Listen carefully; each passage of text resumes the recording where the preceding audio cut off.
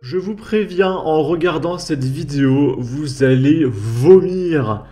On va regarder des extraits euh, de la commission qui a eu lieu pour défoncer CNews, parce que CNews est une chaîne extrêmement méchante, d'accord? Et ils se sont fait interviewer par des gauchistes à côté de la plaque. Là, on va parler de Sophie, comment elle s'appelle? Sophie Taillé-Polian, donc souvenez-vous, c'est la députée écologie euh, NUPES qui partage environ 8 fois par jour sa pétition pour supprimer CNews. Et elle nous partage qui c'est qui a voté pour la pétition. On peut voir que Pablo Pilo-Vivien a signé, hein, il est très fier, regardez-le. Il y a plein qui signent la pétition.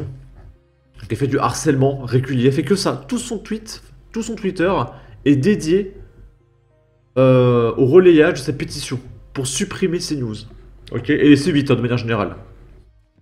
Et du coup, là, euh, elle va demander à Pascal Pro pourquoi il n'invite pas des gauchistes sur son antenne. Sauf que il va dire bah en fait c'est vous qui voulez pas venir. Et elle va dire oui mais je veux pas venir parce que vous êtes très très méchant. Donc ça n'a aucun sens en fait la façon dont les plateaux sont euh, modérés, maîtrisés. Euh, et j'ai mémoire, parce que c'est il n'y a pas très longtemps, euh, qu'il y a deux semaines, Monsieur Deloire est venu, d'ailleurs à sa même proposition pour échanger sur suite à, la décision du Conseil d'État. Et je dirais que moi, l'atmosphère que j'ai que j'ai vue sur ce moment, c'était vraiment un lynchage, un lynchage verbal. Monsieur Deloire, seul contre trois ou quatre personnes contre lui, n'a mais en même temps, Monsieur Deloire, c'est un demeuré. Le mec te parlait de pluralisme sur CNews, tout en disant oui, mais on veut pas venir parce que vous êtes de droite. Donc oui, il se fait défoncer parce que les gauchistes, leurs propos n'ont aucun sens. Et vu qu'ils ont été un peu bousculés par Pascal Pro, qui leur rappelle qu'ils sont stupides, bah ils disent que c'est un lâchage, que voilà, vous avez, été, vous avez été très très méchant avec moi, donc je reviendrai plus. Donc ça n'a aucun sens en fait. A pas pu, pardonnez-moi, en placer une. Donc c'est difficile quand même de considérer qu'on respecte le pluralisme quand on, on considère que ses invités sont des punching balls. Quelle est la question? C'est votre avis et vous avez forcément euh, raison pour vous. Euh, sur cet échange, je m'aperçois que tout le monde n'est pas d'accord avec vous. Que M. Deloire est venu sur le plateau, qu'on lui a posé euh, toutes les questions possibles, qu'il n'a pas su y répondre, que à nombreuses reprises, je lui ai dit quel est le problème avec CNews, qu'est-ce que vous reprochez à CNews, qu'il n'a pas su répondre. je l'ai dit tout à l'heure j'ai dû faire 4000 heures d'antenne depuis 2016. Euh, j'ai vu ces derniers jours des montages de clash. Le dernier clash, je crois qu'il date d'il y a 3 ans, 4 ans. Évidemment, sur 4000 heures d'antenne, il y a parfois des situations tendues. Mais soyez certaine, madame, si vous venez sur mon plateau, et même si vous voulez que nous soyons que tous les deux, en tête à tête. Je vous reçois avec plaisir. Et vous avez bien sûr, vous la réponse. Et là, qu'est-ce qu'elle va dire? Pour le rebond. Merci. Mais écoutez, moi, je, je, ferai volontiers un débat avec vous, mais sur une autre chaîne, avec un animateur qui saura, je pense, ah bah oui, mais moi, c'est mes, ce sont mes conditions. Euh... Voilà. Ah, mais je viendrai, mais pas chez vous. Parce que vous voulez pas que je vienne. Ça n'a aucun sens. Mais vraiment, les gauchistes sont des demeurés, hein. Je suis désolé, mais je, je comprends pas comment on peut être gauchiste et en même temps avoir plus de 10 de QI, ça n'a aucun sens. Pour euh, débattre justement du pluralisme de l'information et de la façon dont euh, à CNews on peut euh, et sur d'autres chaînes, on peut ou pas avoir des débats apaisés, intéressants et constructifs. Donc les débats apaisés et constructifs, c'est quand on débat juste entre nous, entre gauchistes, et que personne n'est contre moi, parce que du coup, bah, je me fais pas crier dessus, parce que tout le monde est d'accord avec moi. Donc là, c'est très très intéressant, et c'est très très constructif. Ok.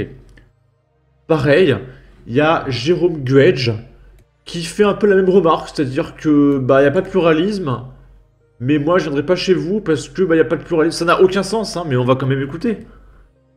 Tout à l'heure, vous avez parlé de la liberté euh, éditoriale qui est la vôtre, euh, dans la hiérarchisation de l'information, comme vous m'avez mentionné tout à l'heure, je, je, juste vous dire que souffrez qu'il puisse aussi y avoir une liberté politique de choisir des endroits où on a envie, euh, compte tenu d'une atmosphère. Euh, et donc, vous n'êtes pas la seule chaîne dans laquelle, ou la seule radio sur laquelle je décide, ou même la seule émission sur laquelle je décide de ne pas aller. Voilà. Donc c'est sa liberté politique euh, de ne pas aller sur CNews, parce qu'il juge que CNews sont très très méchants, et du coup, bah, il veut pas venir. Ça n'a aucun sens. Pas les seuls. On, a aussi cette liberté, aucune euh, obligation. Je tenais à avoir cette En fait, ces gens ne supportent pas de parler à des gens qui sont pas d'accord avec eux. C'est terrible, hein. Et ils te parlent de pluralisme, c'est insupportable. Et il y a un mec en dessous qui partage. Eric Zemmour, il se fait prendre tout le temps en meute et il va partout. Oui, Zemmour, il va sur toutes les chaînes du monde, il se fait insulter partout et il y va. Hein. Parce qu'il débat. Vous savez ce que c'est le débat, les gauchistes? Je crois pas, hein. Les gauchistes sont juste fragiles et savent que leurs idées ne tiennent pas. Quand ça va partir en sucette, il faudra se souvenir que c'est eux qui ont commencé l'offensive et qui voulaient faire disparaître la droite. Ici, euh, c'est le député LFI, c'est que les députés LFI qui l'ouvrent de toute façon, qui reproche à CNews d'avoir retourné le logo CNews pour soutenir les agriculteurs. Parce que bah, les agriculteurs étaient contre le gouvernement. Et bah, c'est problématique hein, de, de, soutenir un mouvement qui va à l'encontre du gouvernement. Et du coup, il demande à CNews, mais pourquoi vous avez voulu soutenir des agriculteurs? C'est vrai que les agriculteurs, bah, il faut les laisser crever la bouche ouverte. Ça sert à rien de soutenir les agriculteurs. Et c'est vrai que bah, les députés et les filles, on les a pas entendus hein, sur les agriculteurs. Parce que bah, eux, les pauvres, ils s'en foutent. Donc ils comprennent pas ce que c'est hein, de soutenir les pauvres dans le besoin. Et du coup, on va écouter ça, c'est lunaire. Hein. Monsieur Nedjian, il y a quelques jours, quelques semaines, euh, en solidarité avec le mouvement des agriculteurs en colère, euh, votre chaîne a décidé d'arborer un logo renversé.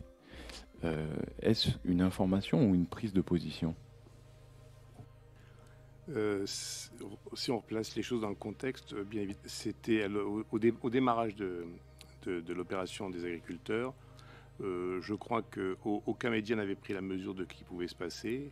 En revanche, nous, nous avons été contactés très tôt par de jeunes agriculteurs que personne n'écoutait, qui n'avaient euh, aucun porte-voix, qui euh, étaient complètement euh, dépourvus et perdus. Donc, euh, ils nous ont contactés, on a envoyé des reporters et on a, parlé avec eux. Et on a été extrêmement touchés par ces gens-là, qui n'avaient accès à aucun média. Donc, comme nous le faisons très souvent, nous sommes attentifs aux, problèmes et aux, souffrances des gens, on essaie de le faire. Nous, on a retourné une journée ce logo. Euh, nous l'avons remis en place dès lors qu'il y a eu un, que, ce mouvement avait pris forme, euh, beaucoup plus syndicalisé, etc. Donc là, on, est sorti complètement euh, de cette analyse, mais la, la première journée, c'est un cri du cœur, euh, comme on peut en avoir souvent euh, lorsque l'on met un logo sur je sais pas, les campagnes contre le sida, contre la mucoviscidose, contre d'autres événements importants. Et je pense que euh, c'est une sensibilité qu'on a eue. Elle peut, elle peut gêner, elle peut être inhabituelle, mais elle était sincère. Il n'y avait aucun objectif euh, euh, d'aucune sorte. Il aurait dû dire oui, c'est une prise de position. Je soutiens les agriculteurs. Est-ce que c'est est -ce c'est grave? Ça, ça leur boucherait le trou, derrière de dire oui, bah, on soutenait les agriculteurs qui sont en train de crever. Et pour finir, on a vu les gauchistes voilà, dire oui, le pluralisme, ah, le pluralisme, ah Voilà, pendant 8 minutes. Mais par contre, euh, à BFM TV, quand il y a des posters de Jean-Luc Mélenchon, Premier ministre, scotchés sur les fenêtres, euh, là, y a pas, c'est pas de la prise de position. C'est pas du pluralisme, vraiment, mais...